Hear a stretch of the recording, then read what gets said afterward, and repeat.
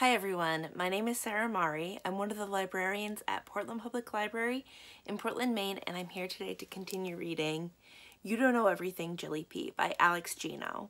We're going to pick up where we left off with chapter 6 when uh, um, Jilly has just found out that Emma, her baby sister, has um, is, is maybe deaf and has told her friend from the Delacourt chat, Profound in Oaktown, that um, that this that's the case, and was surprised when he didn't react exactly the way that she thought that he would. Chapter 6 The next week, Emma has an appointment with an audiologist who specializes in deaf and hard of hearing infants. Dad takes the afternoon off work so that he can be there. I want to go too, but Mom says that it's more important for me to be at school. My claims that this would be an invaluable life experience are ignored. I get home before them, so I make myself a JP PB&J.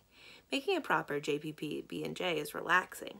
Plus, then I get to eat a JP PB&J. I'm sitting down to enjoy the two halves of my sandwich when Mom's car pulls into the driveway with Dad's right behind it. It's a long time before they come inside. Or at least it feels like it is. It's long enough for me to finish eating and dump my dish in the sink anyway. When they do walk in, Mom's eyes are red and Dad's head hangs low. Dad puts Emma's car seat down, sits on the couch, and pats to the spot on his left for me to join him. I do, and Mom takes a seat on the other side of me. She rubs her eyebrows with her thumb and forefinger. Dad runs his hand through his hair. Neither one of them says a word until I ask. So how did it go? No change, Mom says. There's still a few other possibilities to rule out, Dad says, but everything seems perfectly within healthy range for her age so far. Your sister may have diminished hearing, Jelly. What does that mean? Is she going to stay deaf? Mom flinches at the word deaf. Quite possibly, Dad says. Mom nods. Well, what do we do now? I asks. We take it one day at a time. We have a few doctor's appointments to schedule to rule out some other possibilities, and then an appointment with the audiologist in two weeks. Can I come? We'll see how it goes. He puts on a crooked smile, pushes himself to standing, and heads to the kitchen, where he pulls out pots and lays out knives. Mom places a pillow in her lap and leans over with a grunt to pick up a squirming Emma. Emma settles in quickly for her afternoon snack, and soon Mom is staring off into space. Nobody talks very much during dinner, and the things we do say are pretty boring. Dad asks me about my day, but he looks so tired that I could probably tell him that a pterodactyl flew through the window in math class, and he would keep nodding. At one point, Mom holds her fork in front of her face for over a minute. I time it on the kitchen clock. Her eyes are open, but I'm pretty sure she's asleep. She jerks back into action when I drop my glass onto the table. When we're done, Mom and Dad give each other a look that says, Are you ready to talk? When where one eyebrow goes up, pulling the corner of the mouth with it, while the other side of the face acts like it doesn't know anything is happening. I don't know why they think I don't notice things or why they don't want to talk to me too. It isn't a respectful way to treat your daughter, if you ask me, which no one does anyway. Mom and Dad excuse themselves to their room while I bring the dishes from the table to the kitchen. I load the dishwasher, pack the leftover chili in a plastic container, and fill the big pot with hot water to soak. I know how to help around the house. I know a lot more than my parents think I do. I also know that if I sit quietly on my closet floor and lean my ear against the wall, I can hear my parents in their bedroom. I head to my room, pull Leon the lion out into my closet, and lay him over a seat of shoes.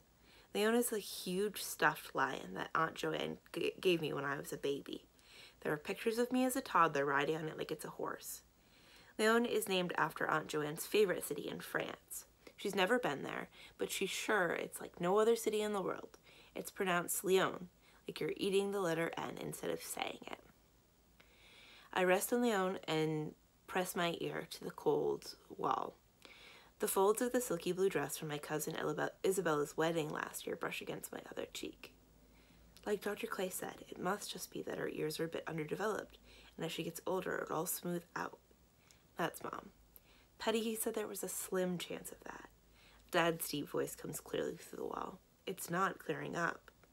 What went wrong? I was so careful, way more than I was with Jilly, and she turned out just fine. My stomach uh, jumps when I hear my name and enter the conversation. Maybe it's genetic, Dad says. But there's no one like that on either side of our family. It's because of the time I got sick. I just know it. You said it was a cold, but I'm sure it was the flu. I know I got a flu shot, but sometimes they don't work. And now, Patty, the doctor said it wasn't that. What does he know? Is his kid never going to hear? Let's make the appointments that Dr. Clay recommended and take it one step at a time. Mom pauses before responding. You're right, Nikki. I always am. I imagine Dad giving his cheesy grin. Don't push it. I picture Mom glaring back at him. I don't hear anything after that, and I wonder if they've fallen asleep. Mom is probably curled up in bed with Dad curled around her. I slip into bed with my laptop. Profound still isn't on Delacorte. There's no one else there that I really want to chat with at that moment, so I log back off. I click on the web search box and type in Online American Sign Language Dictionary. The page fills with links. I click and a page with bright yellow border fills the screen. There are hands in four rows making different shapes. Behind each is a letter of the alphabet. I know just where to start. I click on a copper brown hand with her curled fingers resting along the length of her thumb. The screen fills with words beginning with the letter E. I click on the word eat. A woman with curly blonde hair and a black turtleneck, black turtleneck touches her hand to her mouth. Eat. My first sign. Eat. Eat. When I go back to the alphabet, then I go back to the alphabet page and I click on S, which looks like a fist, not that different from E. There's a lot to learn about American Sign Language. I'm glad I'm starting early. My plan is to learn a word a day. If I keep it up, I'll know 365 words by the time Emma turns one and over 1,000 by the time that she's three. Since she's almost two weeks old, I have some catching up to do. I learned the words sleep and then diaper. Now, there, now I can sign Emma's three favorite activities, but I'm not done. I learned baby, I learned sister, and mother, and father. I learned purple, and blue, and green for Macy. I couldn't find a sign for tur turquoise. Macy's not going to like that. Of all the signs I learned, sister is definitely the hardest. You're supposed to bring one hand from your cheek and have it smoothly meet your other hand. I keep hitting the tip of my finger, other finger, or worse, missing completely. Sister. I type a list of the words on my phone so that I can quiz myself. Mom and Dad might not be ready for Emma to be deaf yet, but there's no way I'm waiting another day to start learning how to sign. Chapter 7 Can you guess what this one is? I show Macy the sign I learned yesterday as we trudge uphill from the school. Um, your eyes itch? Close. It's cry. Yeah, I could see that. Where'd you learn that? From that deaf boy you have a crush on? No. I turn and look her in the face and almost trip over a crack in the pavement. I learned it from the internet, and besides, I do not have a crush on him. Oh my god, Jilly, you totally have a crush on him. Like the moment someone insists it's not a crush like that, it's always a crush. Says who? Says every episode of every show on the Disney Channel. Those shows are fake. Your crush isn't. My cheeks heat up a little more every time she says that word. Not a crush, I say. Trying to believe myself. Right, not a crush, not at all, and the earth is flat. Shut up. Luckily, we're nearing Macy's house, so the conversation has to end. See you tomorrow, Macy says, and tell your dad, I-T-Y-R-G. What? He'll know. Say it back. I-T-Y-R-G. I-T-Y-R-G. Got it. We do a quick baby sister slide. Left hand, two, three, right hand, two, three, hips, hips, hips, foot swoop, clap, before Macy walks up the steps to her front door and disappears inside, leaving me alone to think of anything besides profound and failing. I spot Aunt Alicia's blue Volvo parked by the house. Volvos are pretty common in Piedmont, but I know it's hers right away because there's a fake canary in a cage that hangs from the rear, rear view mirror. Aunt Alicia calls the bird Maya and says that she's there to remind her that we all have a song to sing. Sure enough, Aunt Alicia is in the kitchen when I walk in. Air smells like garlic and three pots bubble on the stove. In the living room, Jamila and Justin are chomping on popcorn and watching a video of talking clouds. Emma is fussing in her bouncer seat like she's either trying to fall asleep or wake up. Mom is nowhere to be seen, but Jamila puts her finger to her lips and points to the closed bedroom door. Hey, Jamila, I whisper back. Hi, Justin. I put my hand up for a high five. He connects with two of his fingers on the first try and three on the second, but the third is palm on palm success. Then I swoop down and grab a fistful of popcorn out of his bowl. Hey, he yells. So I grab a handful of popcorn from Jamila's bowl as well, just to be fair. At the kitchen table, Aunt Alicia pours me a glass of orange juice and puts down a bowl to dump my popcorn hands into. Could have made a batch for you, you know. Less fun, I say, tossing a kernel into my mouth. You're gonna make some big sister. Planning on it. I down half my glass of orange juice in one go. So your so mom's asleep? I told your mother I would come over to take care of Emma and that she was more than welcome to go anywhere she wanted. She only she said the only where she wanted to go was out like a light. At least mom's getting her sense of humor back. I can't say I blame her though. After I had Justin, I didn't want to do anything but sleep for about a month. It was way worse the second time around. Thank goodness Aunt Joanne isn't pressuring me for a third. Couldn't Aunt Joanne have a baby, I ask? Could you imagine Joanne pregnant? No, I laugh. It would get in the way of her running schedule. You're right. That probably would be the part that would bother her the most, said Aunt Alicia. So how was school? You know, the usual teachers, desks, and tests, tests and textbooks. The three R's have become the three T's, huh? What? You know, reading, writing, and arithmetic. Only one of those starts with an R. It's supposed to be clever. Oh. I fake laugh so hard, and Aunt Alicia makes such a face that I start to real laugh, and so does she. She pulls out her phone from her bag to take a selfie of the two of us, and then stops. Seven messages? Let me check these, Jelly Bean. Aunt Alicia scrolls with her thumb. She clicks on her link, her eyes flare up, and her mouth opens, and her hand comes up to cover her her mouth. What is it? Nothing.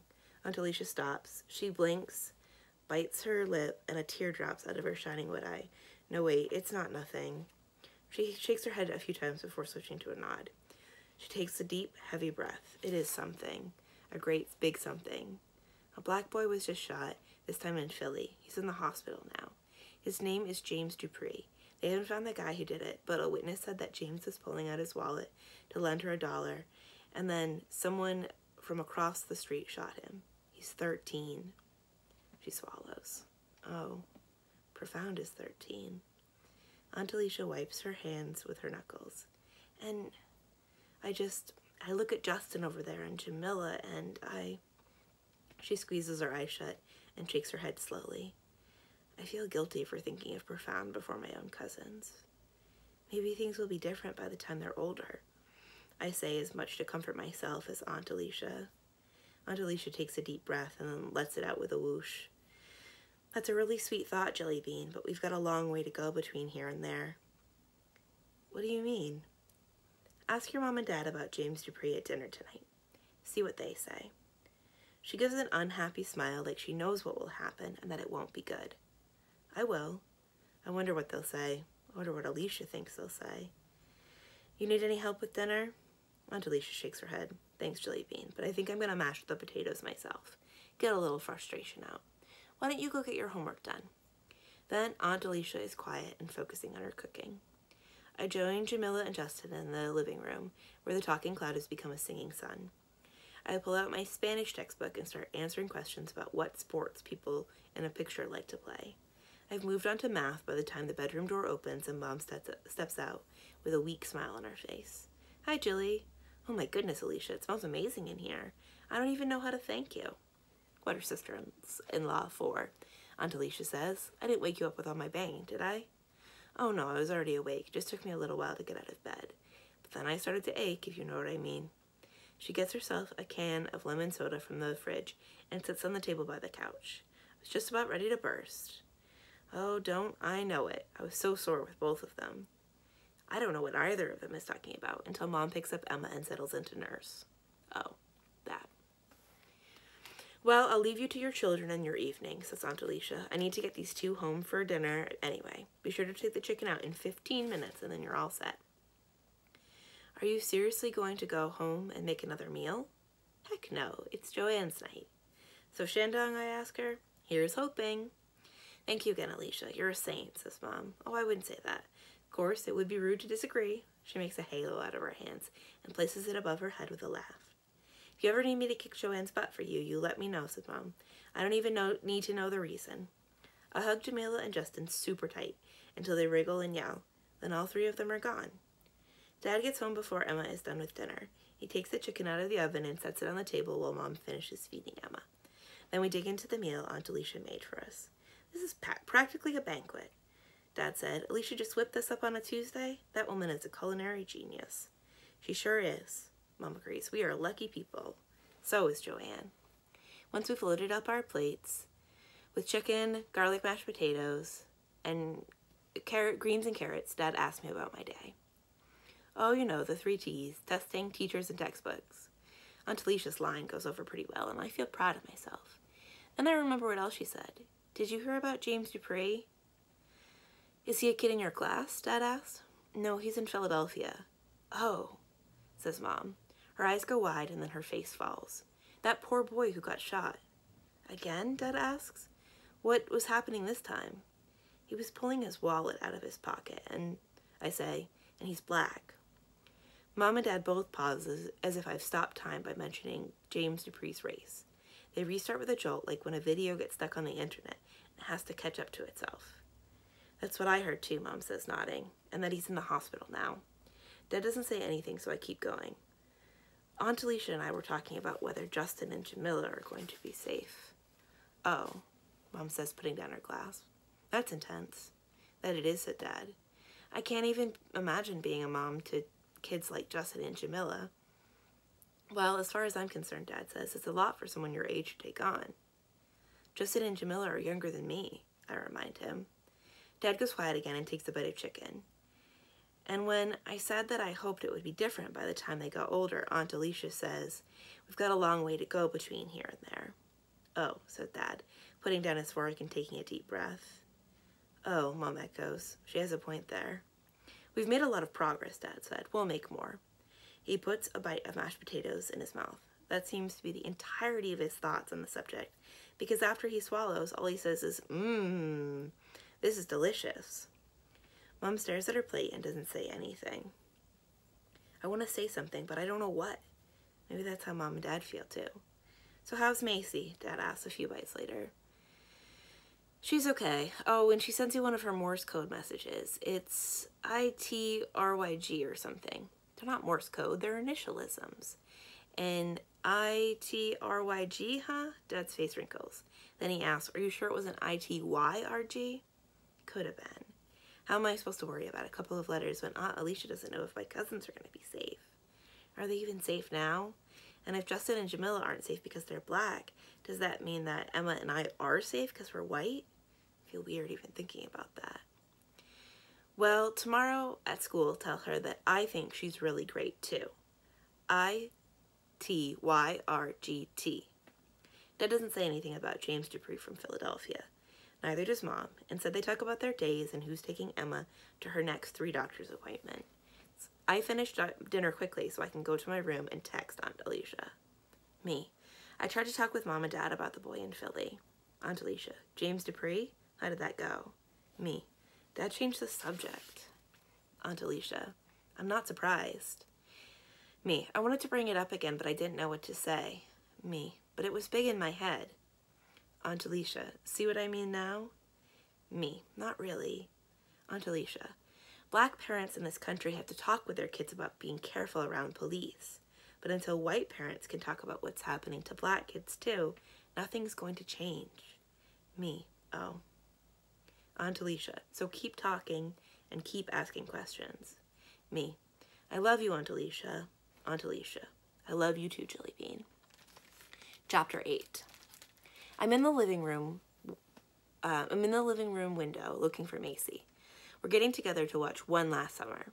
I don't really get what's great about it, but it's Macy's favorite movie and she's begging to watch it. We're going to make a whole movie night of it at her house, so it's going to be really fun, even if the movie is only okay. Macy's mom has a huge flat screen TV in her bedroom, and since she's going to be out on a date, she said that we could use it. We're going to turn off all the lights in the house like we're in our own personal theater. We're to make popcorns, and we have red vines and orange soda ready. Usually I would just walk down to Macy's house, but she's coming here first to say hi to Emma. Emma can't say hi back or even smile yet, but she's pretty cute to look at when she's not screaming. I see Macy walking down the block, and I get to the door in time to pull it open just as she presses the doorbell. I make her jump, but she recovers quickly and gives me a hug that knocks me back into the house. Hey, JD, Macy says when she notices Dad on the couch. And hey, JBSE. JBSE, I ask. Jillian's baby sister Emma, Dad says, like it's obvious. And maybe to him and Macy it is, but I don't think that way. YG, JD. YVG. Macy gives Dad a high five. HT, Dad asks. How's things? The only reason I know that one is because I've asked before. NB, AY? CC, Dad says. Dad whispers con to confirm. Can't complain? YGI. Who under the age of 40 says can't complain, I ask. Why, JBFF does. Dad says, you two are weird, I say. J, uh, Y, YWA, says Macy. Yes, we are, Dad laughs. Macy washes her hands in the kitchen before kneeling down to say hi to Emma. Emma is looking as innocent as can be, wide-eyed with awe at a new face to stare at, as if she hadn't been hollering her head off three minutes ago because, well, who knows why she was crying that time. She just stopped on her own. Macy is holding out her index finger, brushing the sides of it along Emma's tiny fingertips till Emma's hand wraps around Macy's finger and hangs on tightly. To be honest, I love doing that too. It falls in the 10% of cute things she does. Sometimes I get her to hold one of my fingers in each of her hands and I pretend that we're dancing. But if I tell Macy that, she's going to want to do that too. And I want to go, so instead I say, Macy, movie night? Oh yeah, right. See you, JD. H-A-G-N. Y-T. Have a good night, you too. Even though it's warm out, the November sun doesn't last the way a summer afternoon does. There's already a little orange in the sky. I see what you mean about the Mount Coffee Table barometer being off the charts, Macy says. We learned about barometers in school last year. They're kind of like thermometers for air pressures. The Mount Coffee Table barometer is an indication of how stressed mom and dad are. There's always a mess on Mount Coffee Table, kind of like there's always snow on Mount Everest, but the size of it changes. Once or twice a year, they manage to clean it right down to the art books and unopened mail. Right now, the pile has got to be two feet high in the middle, and half of it is pamphlets and articles in magazines about babies with hearing loss which is totally weird. Why is it weird? Wouldn't your parents be looking to read everything that they can get their hands on? No, I mean the words hearing lost. Emma hasn't lost her hearing. She just never had any in the first place. True. It's more like your parents are the ones at the loss. They can hear fine. No, I mean they were expecting to have another kid who can hear and everything, and now they have to get used to the idea that they don't. You know, you're so annoying when you're smart, right? Macy just grins and shrugs. Back at her place, Macy starts the movie and gushes about how the on-screen romance between Franz and Kyla is one of the sweetest things she's ever witnessed. Have you ever seen a movie so good? A relationship so real? It's no Vasselvar or anything. A Vasselvar is a strong romantic and psychic connection in Vidalia. It's what keeps Gwynella from fighting for Maglin, the knife thrower from the north, even when all hope is lost. What? Never mind, I say, when I remember that Gwynella doesn't learn about Vasselvars until the beginning of Hearts and Arrows, so Macy's never read about them. She's only read Swords and Secrets, and that's because I begged her to. Is that a magically delicious Vidalia thing? Magically mysterious Vidalia, and you know, you know it. A Vasselvar is the deep emotional connection that Gwynella and Maglin have that I stop when I realize that Macy's eyes are back on the screen, mouthing Kyla and Franz's lines. She doesn't ask me to continue. Instead, I take a red vine, bite off the tip with my teeth, and stick it into my orange soda, sucking sugar named for a color out of a straw made of sugar named for another color. There is a first-class joke in there somewhere, but I can't find it. Normally, I would ask Dad for help, but nothing at home feels quite right anymore. Mom and Dad drag through the day, like every smile is an act and every joke is a performance. And at night, Emma keeps us all up with her screams. Mom and Dad walk around like zombies who are half asleep instead of half dead, in a tired dance of diapers, laundries, and pamphlets about hearing loss. Dad is so sleepy in the morning that he tried to feed us granola with sour cream instead of yogurt. Twice. And he didn't even laugh. The second time I told him, this is sour cream, but it is not our cream. Before Emma was born, that would have killed.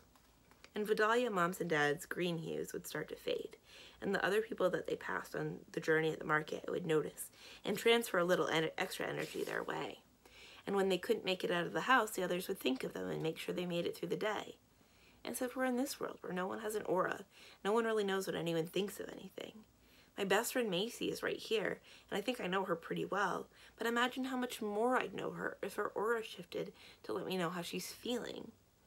And that's my best friend. How much better would it be if we could see the auras of people we didn't know as well? People like Profound. A bubbly wave washes over me at the thought of him, coating everything in a tingly warmth, and leaving behind it a film of self consciousness. I wonder what Profound would think of one last summer. I don't think he'd like it, especially not the ending, where things just work out the way that you expected them to, and everyone is happy. He likes things a little more complicated. And complicated is certainly how I feel about him. I'm so deep in my head I don't even notice that the movie is over and the credits have started until Macy starts pelting me with unpopped kernels of popcorn. There you are, she says when I finally turn my head that her way. Now you have to pick 'em up. What? You can't leave my mom's bed a mess. But you threw them. Yeah, but they're closer to you. That's ridiculous. I, I'm about to complain when Macy breaks into a grin and starts picking up the yellow kernels. Fine, fine, but don't say I never did anything for you. So are you dream, daydreaming about your crush boy? I do not have a crush on him. I don't know what I'm feeling yet, but it's definitely not a crush. Were you thinking about him? Among other things, yeah. You have a crush on him. I wish you would stop saying that. I wouldn't have to say it if you would just admit it yourself. Whatever. We switch to a cartoon about a talking pig and his pet goose and duck who also talk, but all I can think about is profound and how irritatingly right Macy thinks she is. That's the end of where we're going to uh, read to today. We'll pick up tomorrow with chapter 9. We've been reading You Don't Know Everything, Jilly P by Alex Gino. My name is Sarah Mari. I'm one of the librarians at Portland Public Library in Portland, Maine, and I hope to see you again soon. Thanks for listening. Bye.